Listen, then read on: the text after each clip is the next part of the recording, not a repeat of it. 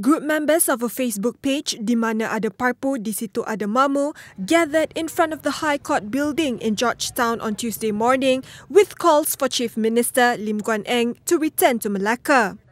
Page administrator Mohsin Latif said the group wanted to show their support for Lim as he has not been able to solve flood and housing issues in the state since becoming Chief Minister. Dulu rumah low cost lah ni dah jadi rumah mampu milik. Bila dia nak sayang SMP? Ada sahabat saya seorang ha, tiga kali masuk loan, tiga kali dah loan pun kena reject sebab apa SMP tak sampai-sampai lagi.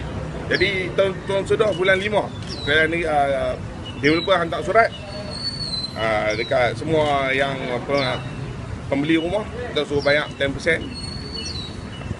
untuk duit wang muka tu.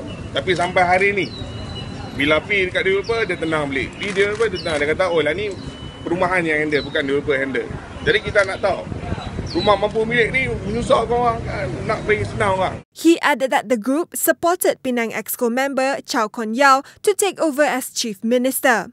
Lim was Kota Melaka MP from 1986 to 1998.